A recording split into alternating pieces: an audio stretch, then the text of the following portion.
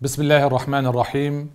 باسمي وباسم الائتلاف الوطني لقوى الثورة والمعارضة السورية أتقدم بأسمى آيات التهاني والتبريكات لخادم الحرمين الشريفين الملك سلمان بن عبد العزيز على نجاح أعمال القمة الخليجية 41 التي تتزامن مع الذكرى الخمسين لتأسيس مجلس التعاون لدول الخليج العربي. ونثمن عاليا الجهود المخلصة التي بذلت من دولة الكويت الشقيقة بأميرها الراحل والأمير نواف من أجل عقد هذه القمة ورأب صدع الأسرة الخليجية والعربية عموما.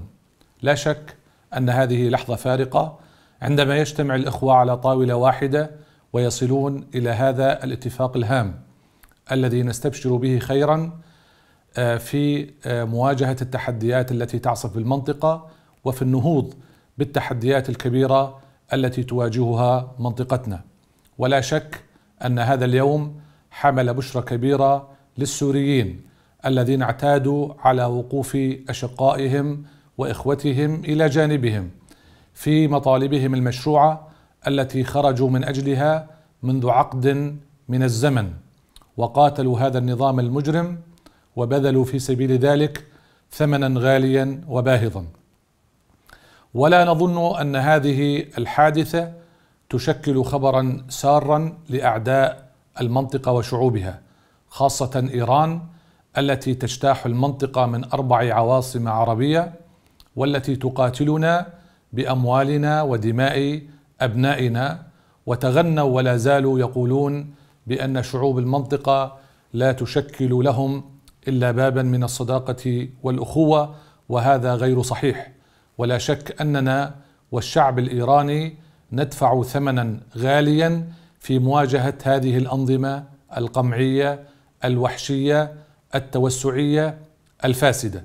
ونتطلع إلى ذلك اليوم الذي يمكن أن يكون قد بدأ منذ أمس بتوحيد هذه الجهود وتوحيد البوصلة في مواجهة إيران والإرهاب والتطرف والأنظمة القمعية التي زرعتها في منطقتنا. ونثني كذلك على البيان الختامي للقمة الذي تطرق بشكل تفصيلي للوضع السوري ونرحب بالتزام الدول العربية والخليجية منها على بيان جنيف وضرورة تشكيل هيئة الحكم الانتقالي التي تدير البلاد في مرحلة يوضع أو يتم الاستفتاء فيها على دستور جديد ويتم التحضير لانتخابات بإشراف الأمم المتحدة. وكذلك ملامستهم الصادقة للقضايا الأخرى المتعلقة بعودة اللاجئين وفق المعايير الدولية بعد أن تتوفر بيئة آمنة ومحايدة يستطيع أن يعيش فيها السوري أو أن يشعر بالأمن والأمان والهدوء والاستقرار. وكذلك مواجهة كل أشكال التغيير الديمغرافي الذي سعت إليه إيران وهذا النظام المجرم في كل سياساتهم التي انتهجوها خلال الفترة الماضية.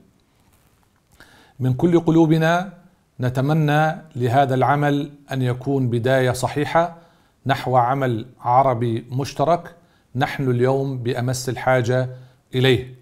وحقيقة آه، كنا نشعر بالبرد ونشعر بأن ظهورنا مكشوفة لأننا كسوريين بحاجة إلى دور عربي فاعل ورائد وإلى جهود عربية مشتركة متكاملة من أجل كما قلنا مواجهة كل تحديات المنطقة ويأتي على رأسها ما تعيشه سوريا سوريا الأرض والدولة والشعب في مواجهة هذا النظام المجرم القاتل وما استجلبه إلينا من دول وتنظيمات مثل الحرس الثوري الإيراني وإيران وميليشياتها وكذلك آه، روسيا.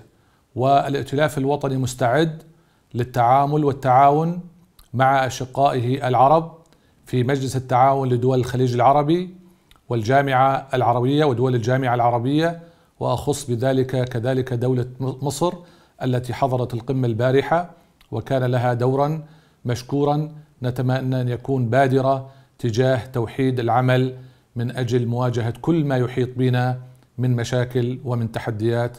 والسلام عليكم ورحمة الله وبركاته.